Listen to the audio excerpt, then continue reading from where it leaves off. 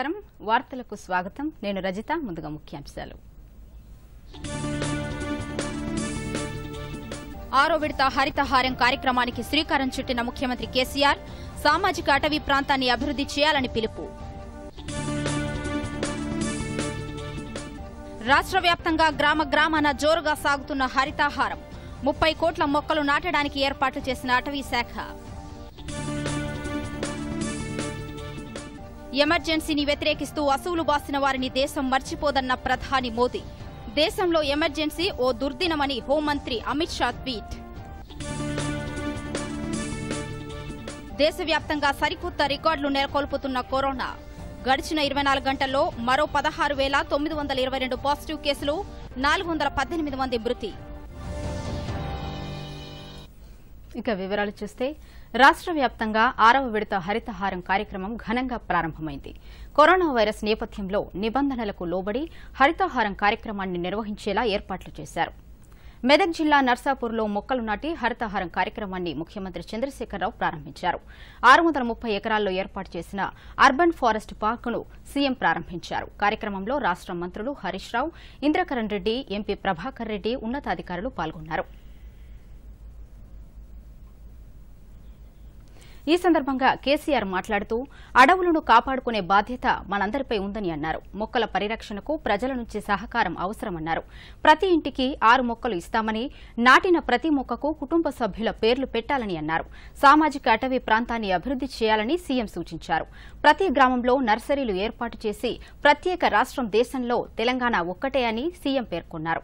గత ఐదు విడతల హరితహారంలో నూట ఎనభై కోట్ల మొక్కలు నాటామని చెప్పారు. ఆరవ విడత హరితహారంలో ముప్పై కోట్ల మొక్కలు నాటాలని లక్ష్యంగా పెట్టుకున్నామని తెలిపారు. అటవీ ప్రాంతాల అభివృద్ది సహా యాదాద్రి నమూనాలో రాష్ట్ర వ్యాప్తంగా చిట్టడువుల రూపంలో ప్రకృతి వనాల అభివృద్దికి ప్రాధాన్యమిస్తామని తెలిపారు. పర్యావరణ పరిరక్షణకు ప్రజలు దండం పెట్టి చెప్తా ఉన్నా. ఇప్పుడు మనం రోజు ఇల్లు ఉడుచుకుంటాం కదండి సింపుల్ మాట. పొద్దున్న లేచి ఇల్లు శుభ్రం చేసుకుంటాం. ఒక ఏళ్ళ దెబ్బన మనకు ఏదైనా తలకాయ నొప్పి వచ్చింది లేదా బద్ధకం చేసింది చేతనైతే లేదు పక్కింటి వాడే వచ్చి మన ఇల్లు పొద్దున చేత కాకపోతే మధ్యాహ్నం అయినా సరే మనమే ఊడ్చుకోవాలి కానీ పక్కింటి వాడు వచ్చి కదా. కాబట్టి డెఫినెట్గా మనం బాగుపడాలంటే మనకు అమెరికా వాడో మహారాష్ట్ర వాడో కర్ణాటక వాడో ఇంకెవడో వచ్చి సాయం చెయ్యరు. మనకు మనం మేల్కుంటేనే మనకు మనం జాగృత పడితేనే ఇది సాధ్యమైతే తప్ప వేరే దీనికి మార్గమే లేదు. దానికి కొద్దిగా మొండి పట్టు పట్టాలి అంతే మరి నరసాపురం అడిగి తిరిగి వాపస్ వస్తుందా? రాదా. అంతే కదా. పక్క మాటనేనా? గ్యారంటీగా.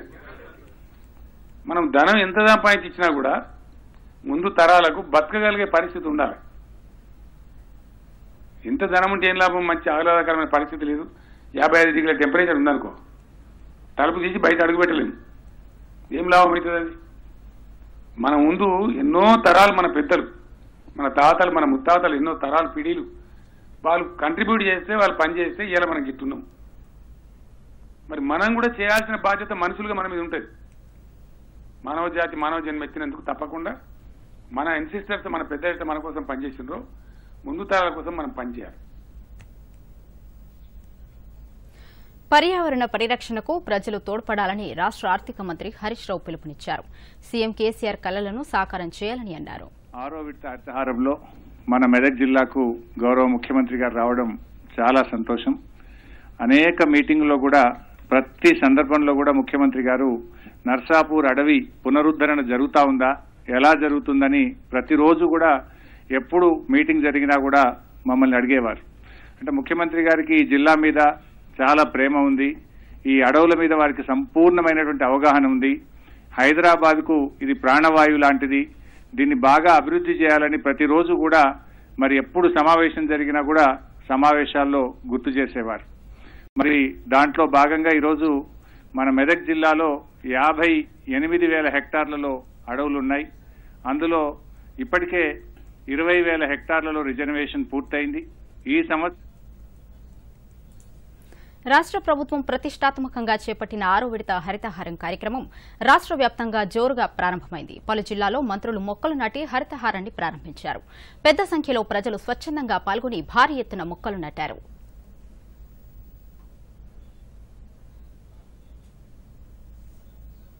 రెడ్డితో పాటు ఇతర అధికారులు పాల్గొన్నారు. ఈ సందర్భంగా మహమూద్ అలీ మాట్లాడుతూ హరితహారంలో ప్రతి ఒక్కరూ మొక్కలు నాటే బాధ్యత తీసుకోవాలని కోరారు. ఆరవ విడత హరితహారంలో భాగంగా సికింద్రాబాద్లో పశుసంవర్ధక శాఖ మంత్రి తలసాని శ్రీనివాస్ యాదవ్ నగర మేయర్ బొంతు రామ్మోహన్తో కలిసి మున్సిపల్ శాఖ మంత్రి కె. తారక రామారావు మొక్కలు నాటారు. అనంతరం సనత్నగర్ నియోజకవర్గం బన్సీలాల్పేటలో ఇరవై లక్షల వ్యయంతో నిర్మించిన పార్కును మంత్రి కేటీఆర్ ప్రారంభించారు. నల్లగొండ జిల్లా కట్టంగూరు మండలం పామనగుండ్ల గ్రామంలో శాసనమండలి చైర్మన్ గుత్తా సుఖేందర్ రెడ్డి మొక్కలు నాటి ఆరవ విడత హరితహారాన్ని ప్రారంభించారు. చైర్మన్తో పాటు శాసనమండలి deputy chairman Neti Vidyasagar MLA Chirumarthi Lingaiah collector Prashant Jeevan Patil తదితరులు పాల్గొన్నారు. ప్రతి ఒక్కరూ మొక్కలు నాటాలని అడవులను అభివృద్ధి చేయాలని మండలి చైర్మన్ కోరారు. సూర్యాపేట జిల్లా కేంద్రంతో పాటు ఇమాంపేట నేరేడుచెర్ల మండలంలో జరిగిన ఆరవ విడత హరితహారంలో మంత్రి జగదీష్ రెడ్డి పాల్గొన్నారు. ప్రతి ఒక్క పౌరుడు మొక్కలను నాటి వాటిని సంరక్షించినప్పుడే పర్యావరణ పరిరక్షణ సాధ్యమవుతుందని మంత్రి అన్నారు. స్థానిక సంస్థలు గ్రామ పంచాయతీలు మున్సిపాలిటీలు విధిగా నర్సరీలలో మొక్కలను పెంచి అవసరమైన చోట్ల మొక్కలను నాటాలని మంత్రి సూచించారు. జనగామ జిల్లా పాలకుర్తి నియోజకవర్గం చెన్నూరులో రిజర్వాయర్ ఎగువన గల అటవీ ప్రభుత్వ భూమిలో నిర్వహించిన హరితహారం కార్యక్రమంలో మంత్రి ఎర్రబెల్లి దయాకర్రావు స్వయంగా మొక్కలు నాటారు. అడవుల్లో ఉండే కోతులు తిరిగిపోవడానికి కానరాకుండా పోతున్న వానలు వాపస్ రావడానికే ఈ కార్యక్రమాన్ని చేపట్టామని మంత్రి చెప్పారు. కరీంనగర్ జిల్లా కేంద్రంలోని ఆర్టీసీ వర్క్షాప్ ప్రాంతంలో జిల్లా కలెక్టర్ కె శశాంక నగర మేయర్ సునీల్ రావు నగర కార్పొరేషన్ కమిషనర్ వల్లూరి క్రాంతితో కలిసి మంత్రి గంగుల కమలాకర్ మొక్కలు నాటి ఆరవ విడత హరితహారం కార్యక్రమాన్ని ప్రారంభించారు. జిల్లాలో హరితహారం కార్యక్రమం ఒక ఉద్యమంలా చేపట్టాలని విజ్ఞప్తి చేశారు. రాష్ట్రాన్ని హరితవనంగా మార్చడమే లక్ష్యంగా ఆరో విడత హరితహారం కార్యక్రమంకు ముఖ్యమంత్రి కేసీఆర్ శ్రీకారం చుట్టారని మంత్రి కొప్పుల ఈశ్వర్ అన్నారు. మంచిర్యాల జిల్లా ముదిగుంట గ్రామంలో మంత్రి కొప్పుల ఈశ్వర్ ఎంపీ వెంకటేష్ నేత ప్రభుత్వ విప్ బాల్క సుమన్ జిల్లా కలెక్టర్ భారతి హోళ్ళికేరీలు మొక్కలు నాటి హరితహారం ప్రారంభించారు. జిల్లాలో మొత్తం మూడు వందల నలభై నాలుగు నర్సరీలు ఏర్పాటు చేసి చెట్లను పెంచుతున్నట్లు వెల్లడించారు. పెద్దపల్లి జిల్లా గోదావరి ఖని మల్కాపూర్లో మంత్రి కొప్పుల ఈశ్వర్ ఎమ్మెల్యేలు కోరుకంటి చందర్ బాల్క సుమన్తో కలిసి మొక్కలు నాటారు. హరితహారంపై రూపొందించిన పాటల సీడీని ఆవిష్కరించారు. వాతావరణంలో సమతుల్యత పెరగాలన్నా వర్షాలు సమృద్ధిగా కురవాలన్నా మొక్కలను నాటి వాటిని సంరక్షించాలని మంత్రి పిలుపునిచ్చారు. మహబూబ్నగర్ మున్సిపాలిటీ పరిధిలోని ఏనుగొండలో మొక్కలను నాటి ఆరో విడత హరితహారం కార్యక్రమాన్ని మంత్రి శ్రీనివాస్ గౌడ్ ప్రారంభించారు. ఈ కార్యక్రమంలో ఎంపీ మండె శ్రీనివాసరెడ్డి జిల్లా కలెక్టర్ వెంకట్రావు పాల్గొన్నారు. మహబూబ్నగర్ జిల్లాలో కోటి మొక్కలు నాటాలన్న లక్ష్యాన్ని సమష్టిగా పూర్తి చేసేందుకు అన్ని వర్గాలు భాగస్వామ్యం కావాలని పిలుపునిచ్చారు. ఖమ్మంలోని Lakaram tank bund Velugumatla urban forest range పార్కులో రవాణా శాఖ మంత్రి పువ్వాడ అజయ్ కుమార్ మొక్కలు నాటి హరితహారం కార్యక్రమాన్ని ప్రారంభించారు. అనంతరం మంత్రి ఆధ్వర్యంలో యాభై ఏడు వేల మొక్కలు నాటారు. ఈ సందర్భంగా మంత్రి మాట్లాడుతూ నాటిన ప్రతి ఒక్క మొక్కను కాపాడుకునేందుకు ప్రతి ఒక్కరూ కృషి చేయాలని కోరారు. మహబూబాబాద్ జిల్లా మరిపెడ మండల కేంద్రంలోని మియావాకి పద్ధతిలో MP Kavitha MLA Redya Naik collector V P గౌతమ్లతో కలిసి గిరిజన స్త్రీ శిశు సంక్షేమ శాఖ మంత్రి సత్యవతి రాథోడ్ మొక్కలను నాటారు. మరిపెడ మండలంలోని సోమ్లా తండాలో మంకీ ఫుడ్ కోర్ట్లో మొక్కలు నాటారు. పచ్చని చెట్లే ప్రగతికి మెట్లని ప్రతి ఒక్కరూ మొక్కలను నాటి సంరక్షించాలని మంత్రి సత్యవతి రాథోడ్ పిలుపునిచ్చారు. హరితహారం ఆరో విడత మొక్కలు నాటే కార్యక్రమం ఆదిలాబాద్ జిల్లా వ్యాప్తంగా ప్రారంభమైంది. జిల్లా కేంద్రంలోని బీసీ గురుకుల పాఠశాల ప్రాంగణంలో జిల్లా కలెక్టర్ శ్రీదేవసేన ఎమ్మెల్యే జోగు రామన్న మొక్కలు నాటి ప్రారంభించారు. ఈ సందర్భంగా జిల్లా కలెక్టర్ ఎమ్మెల్యే మాట్లాడుతూ మొక్కలు నాటి పచ్చదనం పెంపొందించడం అందరి బాధ్యత అన్నారు. Bureau report Doordarshan news. ప్రజాస్వామ్యాన్ని కాపాడేందుకు అత్యేక పరిస్థితికి వ్యతిరేకంగా పోరాడిన వారి త్యాగాలను దేశం ఎప్పటికీ మర్చిపోదని ప్రధాని నరేంద్ర మోదీ అన్నారు.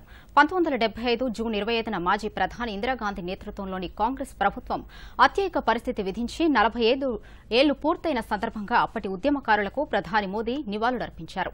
సరిగ్గా నలభై ఐదు సంవత్సరాల క్రితం దేశంలో అత్యేక పరిస్థితి విధించారు. ఆ సమయంలో ప్రజాస్వామ్యాన్ని రక్షించడానికి ఎంతో మంది పోరాడి హింసను ఎదుర్కొన్నారని పేర్కొన్నారు. వారందరికీ నేను సెల్యూట్ చేస్తున్నాను. దేశం వారి త్యాగాలను ఎప్పటికీ మర్చిపోదు అని ప్రధాని మోదీ ట్వీట్ చేశారు. దాంతోపాటు ఆయన గతేడాది మన్ కీ బాత్లో అత్యేక పరిస్థితి గురించి మాట్లాడిన వీడియోను షేర్ చేశారు. కేంద్ర హోంమంత్రి అమిత్ షా కూడా కాంగ్రెస్ పై విరుచుకుపడ్డారు. నలభై ఐదేళ్ళ క్రితం సరిగ్గా ఇదే రోజు ఓ కుటుంబం అధికార దాహంతో దేశంలో ఎమర్జెన్సీ విధించిందన్నారు. మీడియాను న్యాయస్థానాలను అంచివేశారని భావ ప్రకటిత స్వేచ్ఛను తొక్కేశారని అన్నారు లక్షలాది మంది ప్రజల ఉద్యమం కారణంగా ఎమర్జెన్సీ ఎత్తివేశారని అమిత్ షా ట్వీట్ చేశారు. చైనాతో కుమ్మక్కై దేశ సంపదను జో- దోచిపెట్టిన చరిత్ర కాంగ్రెస్ అని కేంద్ర మంత్రి రవిశంకర్ ప్రసాద్ దుయ్యబట్టారు. మన్మోహన్ సింగ్ పదేళ్ళ పదవీ కాలంలో చైనాతో ఎన్ని ఎంఓయూలు చేసుకుందో వివరణ ఇవ్వాలన్నారు. రాజీవ్ గాంధీ ఫౌండేషన్కు చైనా విరాళాలు ఇవ్వడం ఆ దేశంతో కాంగ్రెస్కున్న అనుబంధాన్ని చాటుతుందన్నారు.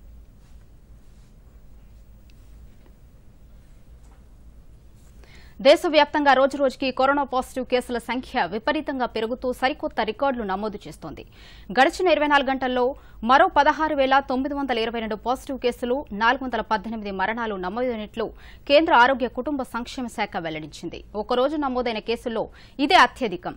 తాజా కేసులతో దేశంలో మొత్తం కోవిడ్ బాధితుల సంఖ్య నాలుగు లక్షల డెబ్బై మూడు వేల నూట ఐదుకు పెరిగింది. ఈ మహమ్మారి సోకిన వారిలో రెండు లక్షల డెబ్బై ఒక వేల ఆరు వందల తొంభై ఏడు మంది కోలుకొని డిశ్చార్జ్ కాగా పద్నాలుగు వేల ఎనిమిది వందల తొంభై నాలుగు మంది మృత్యువాత పడ్డారు. భారత్లో ప్రస్తుతం లక్షా ఎనభై ఆరు వేల ఐదు వందల పద్నాలుగు యాక్టివ్ కేసులున్నాయి. మరోవైపు దేశంలో కరోనా నిర్ధారణ పరీక్షల సంఖ్య పెంచుతున్నారు. నిన్న ఒక్కరోజే రెండు లక్షలకు పైగా శాంపిల్స్ను పరీక్షించినట్లు భారత వైద్య పరిశోధన మండలి వెల్లడించింది. ఇప్పటి వరకు దేశవ్యాప్తంగా డెబ్బై ఐదు లక్షల అరవై వేల ఏడు వందల ఎనభై రెండు శాంపిల్స్ పరీక్షించినట్లు తెలిపింది. దేశంలో కోవిడ్ బారిన పడిన వారిలో కేవలం నాలుగు పాయింట్ ఒకటి ఆరు శాతం మందికి మాత్రమే వెంటిలేటర్ అవసరపడుతుందని పేర్కొంది. సిబిఎస్ఈ పన్నెండవ పదవ తరగతి పరీక్షలను కేంద్ర మానవ వనరుల శాఖ రద్దు చేసింది. జూలై ఒకటి నుంచి పదిహేను వరకు జరగాల్సిన సిబిఎస్ఈ పన్నెండవ తరగతి పదవ తరగతి పరీక్షలను రద్దు చేస్తున్నట్లు ప్రకటించింది. ఈ వివరాలను సుప్రీంకోర్టుకు తెలిపింది. వీటితో పాటు ఐసీఎస్ఈ పరీక్షలను కూడా రద్దు చేస్తున్నట్లు బోర్డు తెలిపింది. సిబిఎస్ఈ పరీక్షలు ప్రవేశ పరీక్షలకు సంబంధించి తీసుకున్న నిర్ణయంపై శుక్రవారం నోటిఫికేషన్గా విడుదల చేస్తామని అత్యున్నత న్యాయస్థానానికి కేంద్ర ప్రభుత్వం తెలియజేసింది. పరీక్షల నిర్వహణపై పూర్తి సమాచారంతో అఫిడవిట్ దాఖలు చేయాలని ప్రభుత్వాన్ని ఆదేశిస్తూ సుప్రీంకోర్టు విచారణను శుక్రవారానికి వాయిదా వేసింది. కరోనా నేపథ్యంలో రెండు వేల పద్దెనిమిది పంతొమ్మిది ఆర్థిక సంవత్సరానికి ఆదాయపు పన్ను రిటర్నులు దాఖలు చేసే గడువును జూలై ముప్పై ఒకటి వరకు పెంచుతున్నట్లు కేంద్ర ప్రత్యక్ష పన్నుల బోర్డు ఉత్తర్వులు జారీ చేసింది. అలాగే రెండు వేల పంతొమ్మిది ఇరవైకి చెందిన రిటర్నుల సమర్పణ గడువును నవంబర్ ముప్పై వరకు పెంచుతున్నట్లు ఇటీవలే ఆదేశాలు జారీ అయ్యాయి. రెండు వేల పంతొమ్మిది ఇరవై ఆర్థిక సంవత్సరానికి పన్నుల మినహాయింపు కోసం చేసే పెట్టుబడుల గడువును కూడా జూలై ముప్పై ఒకటి వరకు పొడిగించారు. ఆధార్ కార్డును పాన్ కార్డులో అనుసంధానం చేసే గడువును వచ్చే ఏడాది మార్చి ముప్పై ఒకటి వరకు పొడిగిస్తున్నట్లు ఆదాయ పన్ను శాఖ ఒక ప్రకటనలో పేర్కొంది.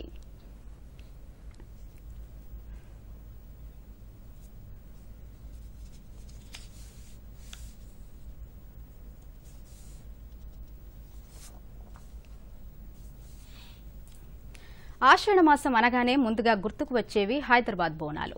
గోల్కొండ కోటపై జగదాంబిక ఎల్లమ్మ ఆలయంలో మొదటి పూజతో తెలంగాణ వ్యాప్తంగా బోనాల ఉత్సవాలు ప్రారంభమయ్యాయి. ప్రతి ఏటా చారిత్రాత్మక గోల్కొండ కోటపై ఆషాఢ మాసం బోనాల జాతర అత్యంత వైభవపేతంగా జరపడం ఆనవాయితీ. కరోనా వ్యాప్తి నేపథ్యంలో లాక్డౌన్ నిబంధనల మేరకు దేవాదాయ శాఖ అధికారులు గోల్కొండ బోనాల వేడుకను నిరాడంబరంగా నిర్వహించారు. కేవలం పది మందితోనే జగదాంబిక ఎల్లమ్మకు తొలి పూజ నిర్వహించారు. బోనాల నిర్వహణకు ఉత్సవ కమిటీ సభ్యులు పూజారులకు మాత్రమే అనుమతి ఇచ్చారు. సర్కార్ బోనాన్ని ఉత్సవ కమిటీ దేవాదాయ శాఖకు ఇస్తే దేవాదాయ శాఖ అధికారులు అమ్మవారికి సమర్పించారు. పాకిస్తాన్కు ఫైనాన్షియల్ యాక్షన్ టాస్క్ ఫోర్స్ వేదికపై ఎదురు దెబ్బ తగిలింది. ఆ దేశాన్ని గ్రే లిస్టులో కొనసాగించాలని ఎఫ్ఏటీఎఫ్ నిర్ణయించింది. దీంతో వచ్చే అక్టోబర్ వరకు గ్రేడ్ లిస్టులో కొనసాగించాల్సిన పరిస్థితి నెలకొంది. పాకిస్తాన్ లష్కరే తోయిబా జైషే మహమ్మద్ వంటి సంస్థలకు నిధుల రాకను అడ్డుకోవడంలో విఫలమైందని అందుకే గ్రే లిస్టులో కొనసాగిస్తున్న ఎఫ్ఏటీఎఫ్ తెలిపింది. ఎఫ్ఏటీఎఫ్కు చైనా అధ్యక్షత వహిస్తున్న సమయంలోనూ ఊరట లభించకపోవడం పాకిస్తాన్కు షాక్కు గురిచేసింది. ప్రస్తుతం చైనాకు చెందిన జింగ్ మెన్యూ దీనికి అధ్యక్షత వహిస్తున్నారు.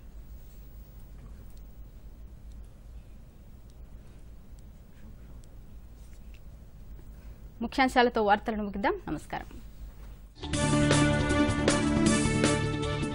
ఆరో విడత హరితహారం కార్యక్రమానికి శ్రీకారం చుట్టిన ముఖ్యమంత్రి కేసీఆర్ సామాజిక అటవీ ప్రాంతాన్ని అభివృద్ది చేయాలని పిలుపు. రాష్ట్ర వ్యాప్తంగా గ్రామ గ్రామాన జోరుగా సాగుతున్న హరితాహారం ముప్పై కోట్ల మొక్కలు నాటడానికి ఏర్పాట్లు చేసిన అటవీ శాఖ. ఎమర్జెన్సీని వ్యతిరేకిస్తూ వసూలు బాసిన వారిని దేశం మర్చిపోదన్న ప్రధాని మోదీ. దేశంలో ఎమర్జెన్సీ ఓ దుర్దినమని హోంమంత్రి అమిత్ షా ట్వీట్. దేశవ్యాప్తంగా సరికొత్త రికార్డులు నెలకొల్పుతున్న కరోనా. గడిచిన ఇరవై నాలుగు గంటల్లో మరో పదహారు వేల తొమ్మిది వందల ఇరవై రెండు పాజిటివ్ కేసులు నాలుగు వందల పద్దెనిమిది మంది మృతి.